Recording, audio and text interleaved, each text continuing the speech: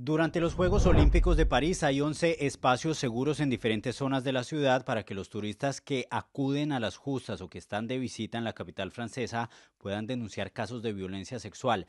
Estos sitios están ubicados cerca a espacios deportivos y a sitios emblemáticos. Al menos seis personas han utilizado los lugares desde que empezaron los Olímpicos.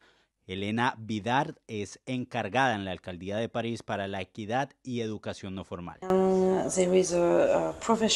Es un servicio profesional, hay servicio jurídico y psicológico, todos son profesionales feministas y esta gente puede escucharte y te aconseja sobre cuál es el especialista con el que debes hablar.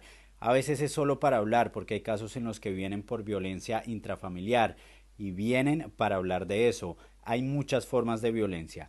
La idea es también trabajar en la prevención de estos casos en París y por eso hay personas de la alcaldía haciendo pedagogía en las calles sobre los espacios seguros. También hay manuales que se están entregando con información sobre el tema. Cerca a estos espacios se pueden ver anuncios para que todas las personas los puedan ubicar. Everything is free.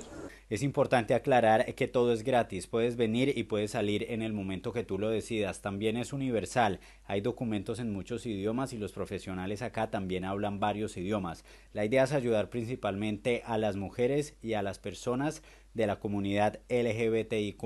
Los espacios seguros buscan ser un ejemplo para el mundo sobre la importancia de la prevención y atención de los casos de violencia y agresión sexual, especialmente en las ciudades donde se realizan grandes eventos.